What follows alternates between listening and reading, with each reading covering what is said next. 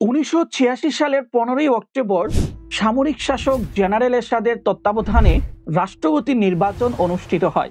কিন্তু দেশের সব রাজনৈতিক দল এ নির্বাচন বয়কট করলেও এতে অংশগ্রহণ করেছিলেন খেলাফত আন্দোলনের প্রধান মাওলানা মুহাম্মদুল্লাহ হাফিজ হুজুর রহমাতুল্লাহি আলাইহি।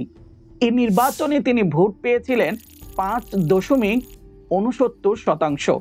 আর জেনারেল এরশাদ নিজের পক্ষে তিরাশি দশমিক সাতান্ন ভাগ ভোট দেখিয়ে নিজেকে বিজয়ী ঘোষণা করেছিলেন।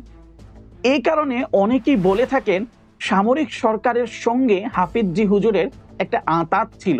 তিনি সামরিক শাসনের আনুকূল্য পেয়েছিলেন। কিন্তু আসলেই কি তাই?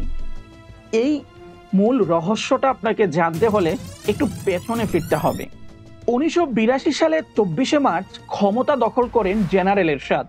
এর এক বছর পরই উনিশশো তিরাশি সালের তেইশে জুলাই জাতীয় নেতাদের নিয়ে একটা গোল টেবিল বৈঠকের আয়োজন করেন হাফিজি হুজুর। বৈঠকের ভাষণে তিনি বলেন, সামরিক শাসনরা আজ শোষকের ভূমিকায় নেমেছে। তাদের বিরুদ্ধে জিহাদ করা আবশ্যক হয়ে পড়েছে।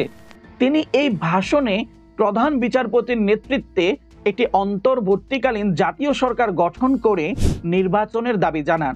আর তার এই দাবির সঙ্গে বৈঠকে উপস্থিত পনেরো দলের নেতারাও সহমত পোষণ করেন। একই বছর ডিসেম্বরে নুরিয়া মাদ্রাসার বার্ষিক মাহফিলের সমাপনী বক্তব্যেও সামরিক শাসনের বিরুদ্ধে অনেক কথা বলেন হাফিজি হুজুর রহমতুল্লাহি আলাই এছাড়াও উনিশশো সালে এরশাদ সরকার উপজেলা নির্বাচনের উদ্যোগ নিলে অন্যান্য দলের মতো হাফিজি হুজুরের দলও নির্বাচনকে সম্পূর্ণ বয়কট করে। এমনকি একই বছরের এপ্রিলে বিরোধী দলগুলো এরশাদের সঙ্গে সংলাপে অংশ নিলেও হাফিজি হুজুর কিন্তু এই সংলাপে অংশ নেননি। এখানে হাফিজি হুজুরের বক্তব্য ছিল যে, অবৈধ সরকারের সঙ্গে সংলাপে বসার অর্থই হচ্ছে তাকে বৈধতা দান করা।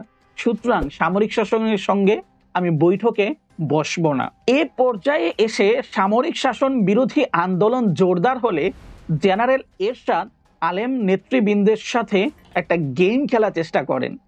উনিশশো সালের এগারোই অক্টোবর মানিক মিয়া এভিনিউতে এক জনসভায় সামরিক শাসন বিরোধী দলগুলোকে ইসলাম বিরোধী প্রমাণ করার চেষ্টা করেন জেনারেল এরশাদ।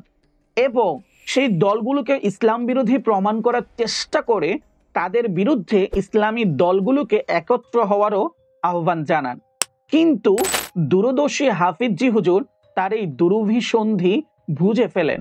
তিনি বলেন, সরকার ইসলাম বিরোধী এবং ইসলামপন্থী বলে বিভেদ সৃষ্টি করে রাজনৈতিক ফায়দা হাসিলের চেষ্টা করছে। জেনারেল এরশাদের এই ভাষণের মাত্র দশ দিন পর হাফিজি হুজুর দশটি রাজনৈতিক দলের সমন্বয়ে সংগ্রাম পরিষদ গঠন করেন। এ পরিষদের আসল লক্ষ্যগুলোর মধ্যে প্রথমটি ছিল অনতি বিলম্বে সামরিক শাসনের অবসান ঘটানো। এরপর জেনারেল এরশাদের সামরিক সরকার হাফিজি হুজুরের দল খেলাফত আন্দোলনের প্রতি প্রচণ্ড মারমুখী হয়ে ওঠে। উনিশশো পঁচাশি সালে বাইতুল মুকাররমে খেলাফত আন্দোলনের সমাবেশ করতে দেয়া হয় না। সংগ্রাম পরিষদের নেতাদের গ্রেফতার করা হয়। তাদের উপর নির্যাতন চালানো হয়। এমনকি হাফিজি হুজুরকে গৃহবন্দীও করা হয়। এই তথ্যগুলো জানার পর কীভাবে আপনার মনে হতে পারে যে সামরিক সরকারের সঙ্গে হাফিজি হুজুরের একটা আতাত ছিল। উনিশশো পঁচাশি সালের পর বিরোধী দলের অব্যাহত চাপে জেনারেল এরশাদ সংসদ নির্বাচন দিতে বাধ্য হয়। উনিশশো সালের সাতই মে এই নির্বাচন অনুষ্ঠিত হয়। এতে অন্যান্য দল যেমন অংশগ্রহণ করে, তেমনি হাফিজি হুজুরও এই নির্বাচনে অংশগ্রহণ করেন। তার দল খেলাফত আন্দোলন উনচল্লিশটি আসনে প্রতিদ্বন্দ্বিতা করে। কিন্তু জেনারেল এরশাদ এই নির্বাচনে ব্যাপক কারচুপি করে ফলে একই বছরের পনেরোই অক্টোবর রাষ্ট্রপতি নির্বাচন সকল দল বয়কট করে। কিন্তু হাফিজি হুজুর এই নির্বাচনে অংশগ্রহণ করেন এবং এই নির্বাচনে অংশগ্রহণ করাটাই তার বিরুদ্ধে সমালোচনার জন্ম দেয়। সমালোচনার জায়গা হচ্ছে হাফিজি হুজুর যখন সব দল এই নির্বাচনকে বয়কট করেছে হাফিজি হুজুর কেন সামরিক শাসনের অধীনে রাষ্ট্রপতি নির্বাচনে অংশগ্রহণ করলেন? এর উত্তর হচ্ছে, হাফিজি হুজুর মূলত নির্বাচনে অংশ নিয়েছেন জেনারেল এরশাদকে চ্যালেঞ্জ করার জন্য। তিনি এক সংবাদ সম্মেলনে নির্বাচনকালীন সময়ে বলেছিলেন, সামরিক শাসনের অবৈধ সরকারের উচ্ছেদ এবং আমাদের তাদের বিরুদ্ধে আন্দোলন সংগঠিত করার জন্যই আমি এই নির্বাচনে অংশগ্রহণ করেছি।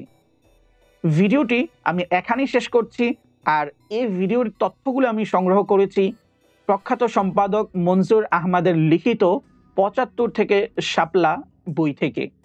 ভিডিওটি ভালো লাগলে অবশ্যই লাইক দিবেন, শেয়ার করবেন এবং অবশ্যই এই চ্যানেলটি সাবস্ক্রাইব করা না থাকলে সাবস্ক্রাইব করবেন। নতুন কোনো ভিডিওতে আবার আপনাদের সঙ্গে কথা হবে।